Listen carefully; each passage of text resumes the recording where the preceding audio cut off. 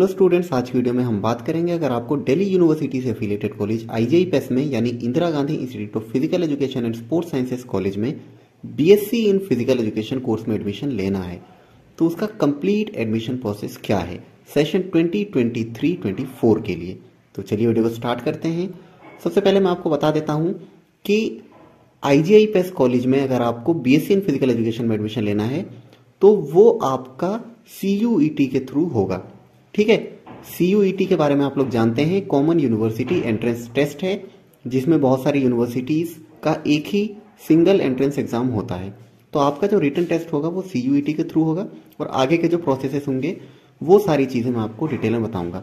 तो पहले पूरे प्रोसेस को समझ लेते हैं। ये देखिए, आप लोग स्क्रीन पर देख सकते हैं, आपका जो एडमिशन है, वो दो बेसिस पर होगा। एक सीयूईटी का स्कोर यानी आपका एक रिटर्न एंट्रेंस टेस्ट होगा जिसका वेटेज 50 परसेंट है और दूसरा परफॉर्मेंस बेस्ड टेस्ट जिसका वेटेज 50 परसेंट है।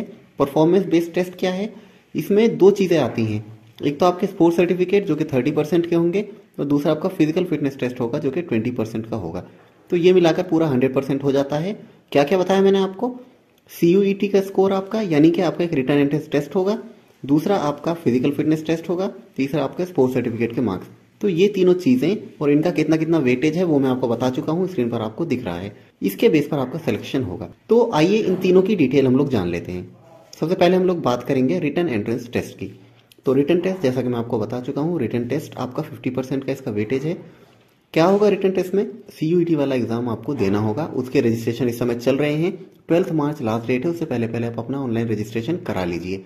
पिछली वीडियो में मैंने आपको बता दिया है कि अगर आपको बीएससी इन फ़िज़िकल एजुकेशन में एडमिशन लेना है एजीआईपीएस में तो उसके लिए आपको फॉर्म फिल करते समय क्या सब्जेक्ट कॉम्बिनेशन लेना है?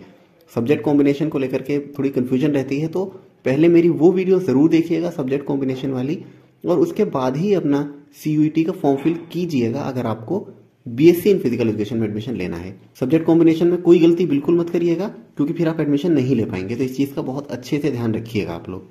ठीक है? अब सिलेबस क्या होगा आपके रिटर्न टेस्ट का? तो फ़िज़िकल एजुकेशन का मैं आपको दिखा देता हूँ? ये देखिए आप स्क्रीन पर देख सकते हैं। ये सिलेबस मैंने अपने टेलीग्राम चैनल पर भी डाल दिया है। वहाँ से भी इसकी पीडीएफ आप डाउनलोड करके देख सकते हैं। तो ये कंप्लीट सिलेबस है आपका। तो अगर इस सिलेबस के अकॉर्डिंग आप लोग अपनी प्रिपरेशन करना चाहते हैं तो हमारा ऑनलाइन बैच भी जल्द ही स्टार्ट होने वाला है। तो उस बैच को भी आप लोग ज्वाइन कर सकते हैं। अब बात करते हैं परफॉर्मेंस बेस्ड टेस्ट की। जैसे कि मैंने पहले ही बताया परफॉर्मेंस बेस्ड टेस्ट में दो चीज़ें हैं आपकी। एक स्पोर्ट्स सर्टिफिकेट जिसका वेटेज थर्टी परसेंट है, और फ़िज़िकल फिटनेस टेस्ट जिसका वेटेज ट्वेंटी परसेंट है। तो स्पोर्ट्स सर्टिफिकेट की पहले हम लोग बात कर लेते हैं। अब देखिए स्पोर्ट्स सर्टिफिकेट का एक पूरा फिक्स क्राइटेरिया है कि कौन कौन से लेवल के स्पोर्ट्स सर्टिफिकेट पर आपको कितने कितने मार्क्स दिए जाएँगे। तो मैं स्क्रीन पर एक बार आपको दिखा देता हूँ किस किस लेवल के स्पोर्ट्स सर्टिफिकेट पर कितने कितने मार्क्स आपको दिए जाएँगे। आपके पास जिस भी लेवल का स्पोर्ट्स सर्टिफिकेट हो, उसके मार्क्स आपको दे दिए जाएँगे अकॉर्डिंगली वो कब दिए जाएँगे? तो वो आगे का प्रोसेस है, लेकिन अभी इस चीज़ का ध्यान रखिएगा आप लोग कि अभी सिर्फ़ आपको रिटर्न टेस्ट पर फोकस करना है। स्पोर्ट्स सर्टिफिकेट आपके पास जो भी है, जिस भी लेवल का है उसके बारे में आपको बाद में अभी मैं इन्फॉर्म कर दूँगा और वो प्रोसेस भी बाद में होगा, उसका एक अलग से फॉर्म फिल किया जाएगा। सी से अलग। उसका एक सी का फॉर्म होता है। वहाँ पर आपको अपना स्पोर्ट्स सर्टिफिकेट अपलोड करना होगा। ठीक है? तो वो बात का प्रोसेस है। अभी के लिए बस इतना जान लीजिए कि 30 परसेंट वेटेज होगा स्पोर्ट्स सर्टिफिकेट का और कौन से लेवल के सर्टिफिकेट पर कितने कितने मार्क्स मिलेंगे, वो मैंने आपको स्क्रीन पर दिखा दिया है। अब मैं लास्ट चीज़ आपको बता देता हूँ जो कि परफॉर्मेंस बेस्ड टेस्ट में होगी। वो है आपका फ़िज़िकल फिटनेस टेस्ट जिसका वेटेज ट्वेंटी है। फ़िज़िकल फिटनेस टेस्ट में क्या होगा? कैनेडियन टेस्ट होगा। कैनेडियन टेस्ट में क्या क्या चीज़ें आपको करनी होंगी तो ये देखिए आप स्क्रीन पर देख सकते हैं। तो इसकी डिटेल भी मैं अलग से स्पेसिफिक वीडियो में दूँगा, जिस समय आपका फ़िज़िकल फिटनेस टेस्ट होने वाला होगा और जिस समय आपकी स्पोर्ट्स सर्टिफिकेट का वेटेज आपको मिलेगा, वो सारी डिटेल्स मैं आपको किसी दूसरी वीडियो में अच्छे से समझा दूँगा। अभी इस वीडियो में सिर्फ़ आपको ये चीज़ें समझानी थी कि पूरा प्रोसेस क्या है और अगर आपको एडमिशन लेना है तो आपको क्या क्या चीज़ें करनी होंगी। तो मुझे लगता है मोस्टली आपकी जो कन्फ्यूज़न थी पूरे प्रोसेस के बारे में वो दूर हो गई है। अब लास्ट में एक बार मैं फिर से बता दूँ कि ऑनलाइन रजिस्ट्रेशन आपके समय चल रहा है। ट्वेल्थ मार्च लास्ट डेट है तो आप लोग अपना ऑनलाइन रजिस्ट्रेशन करा लीजिए। रजिस्ट्रेशन फ़ीस आपको स्क्रीन पर दिख रही है। जैसा कि मैंने पिछली वीडियो में बताया था, आपको चार सब्जेक्ट सेलेक्ट करने होंगे।